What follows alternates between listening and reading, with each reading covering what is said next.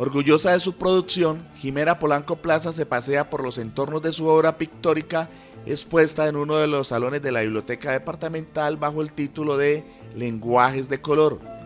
Aunque estudió dos años de Derecho, pudo más su inclinación por las artes plásticas que su inicio en las leyes, pues encuentra posibilidades de dibujar cada momento de su vida en lienzos, por eso estudia en el Instituto Departamental de Bellas Artes y expone en todos los escenarios posibles. Desde que empezó el año estoy haciendo exposiciones en la Universidad del Valle, de Palmira, en el Club Campestre de Palmira, en la Secretaría de Cultura y aquí en la biblioteca. Y ha sido pues una buena acogida. Muy buena, mis obras han gustado mucho. Su técnica es mixta, se fascina con las posibilidades del impacto del color y le anima a la pintura abstracta por la multiplicidad de connotaciones que ella brinda.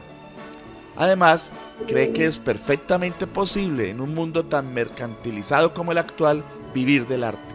Sí, claro, por supuesto. Sí, ese es como un estigma que tenemos en Colombia, pero claro que sí se puede vivir del arte pues cuando se hace con amor y por amor, yo al menos lo hago así y sí vivo del arte. La pintora caleña se apresta a realizar nuevas exposiciones en otros puntos de la ciudad.